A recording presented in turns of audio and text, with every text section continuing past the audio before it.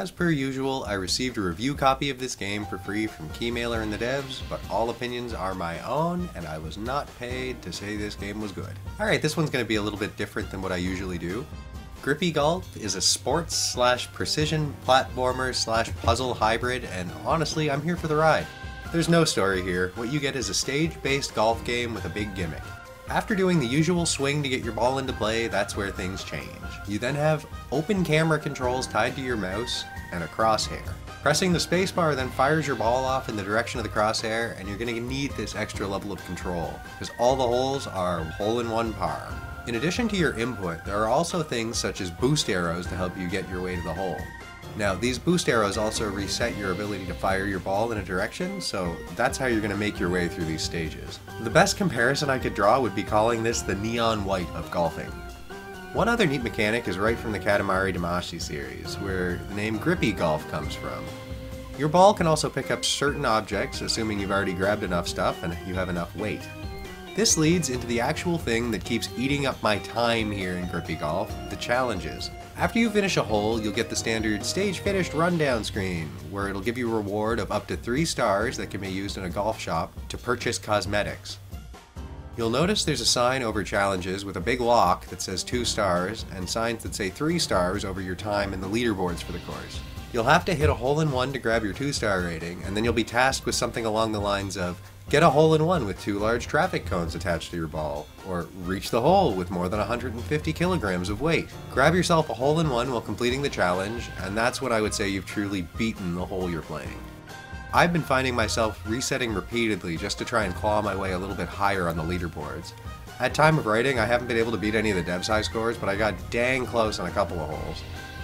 This makes for an extremely addictive gameplay loop of trying to find the best route to not only get a hole in one, but also grab some arbitrary refuse around the stage. This can be a lot more difficult in practice than it sounds. There are a few cases where this required me to blast myself off with a booster, snap my camera around extremely quickly, then use the spacebar to fire myself backwards to grab some items.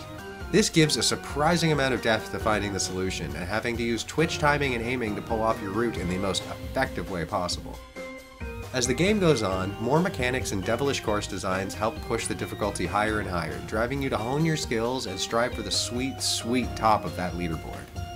Now, the music is good, don't get me wrong, but it's nothing to write home about. It's there, it's pleasant, but it's very much more of a vein of generic golf game 3.wave than something else. It really blends in with all the cursing you'll be doing when you miss a leaderboard topping score by 0.03 seconds for the 25th time in a row, so that's a plus. The graphics fall into the same camp. They're serviceable, but not runaway gorgeous. There's some nice lighting and particle effects, and the course variety from world to world is very fun, but honestly, everything is just in service of getting the ball into the hole. Now, saying that about the graphics, I was very surprised to see that the menus were pushing my 3060 Ti to about 85% usage at 1080p. Once I hit the course, everything seemed to level out for World 1 and 2, and it was taking a much more reasonable 12 to 50% of my GPU, depending on how much stuff was on screen at any given time. Then this again changed when I hit course 3, and everything from there on dipped down to about 35 to 50 frames per second and pinned my GPU usage to 100%. There's definitely some kind of optimization issue here, and I would urge the devs to look into it. If you have a less powerful graphics card, you may run into some issues here. Another issue I had is that there was no option to change the resolution. With the frame rate issues I was having, I doubt that I would have wanted to push the resolution any higher than what I was currently running at, but it would have been nice to have the option. This is especially crucial when you're attempting to run this on slightly weaker hardware, and dialing back the resolution is the last chance to get a playable frame rate. Now this game was built in Unreal 5. That means that older cards will not play this game at all. Anything that doesn't have DirectX 12 support just will not run this, I'm sorry to say. You're going to want to check out the demo to make sure that this game runs on your computer if you're rocking older hardware. And now for my final thoughts. Grippy Golf is a very fun precision and twitch reflex based platformer in the sneaky disguise of a golf game. This puppy is 100% skill based, so get ready to get good if you want to hit that top time to reach the endorphin injecting leaderboard.